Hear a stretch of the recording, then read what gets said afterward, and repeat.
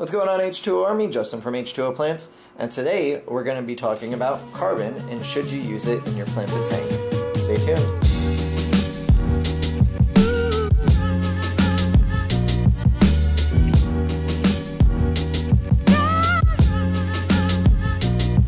So I often get asked on the live stream, should I be using carbon in my planted tank? And I've also gotten a bunch of other messages, should I use carbon in my planted tank?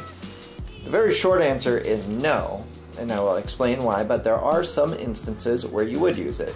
Let's go over why you wouldn't use carbon in your planted tank. When you dose fertilizer, if you have carbon in your planted tank, it's going to absorb all the fertilizer you put in your tank and your plants won't be able to utilize it. So it's ideally the best situation where you don't have carbon in your filter.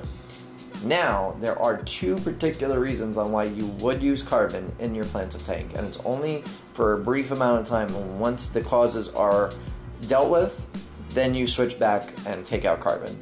Let's go over them. But before I do that, have you guys subscribed? If you're watching on Facebook, make sure you also like the page. If you're watching on YouTube, be sure to subscribe. And while you're at it, hit that like button. A matter of fact, smash it. And share it if you might have uh, some friends that are planted tank keepers and wouldn't know if they should keep carbon or not in their filter. But let's get into why you would use carbon. So two reasons. One, your tank is really smelly. Now that's usually an indication you have rotting material in your tank. Either a plant is rotting, a fish that died is rotting, and your filter isn't power enough to uh, powerful enough to break that down.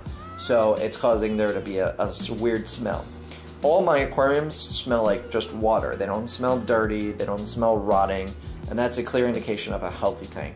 So if you have carbon, you can put that in your filter, it'll eventually help remove the stink out of your water, which is a good thing. But like I said, if you're dosing ferts, you want to remove the carbon after the smell has been dealt with.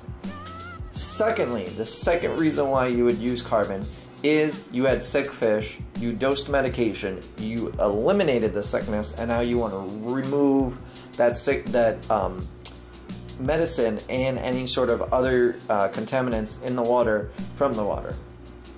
And the way you do that is with carbon. Carbon will filter out all of that uh, chemicals that you would have been using and help make your water pure again. So those are the two instances where you would use carbon in a planted tank really that's about it. If you guys can think of any other reasons why you would use carbon, or tell me if you do use carbon, I'd like to know if you use carbon in your planted tank and why. Make sure you drop a comment below.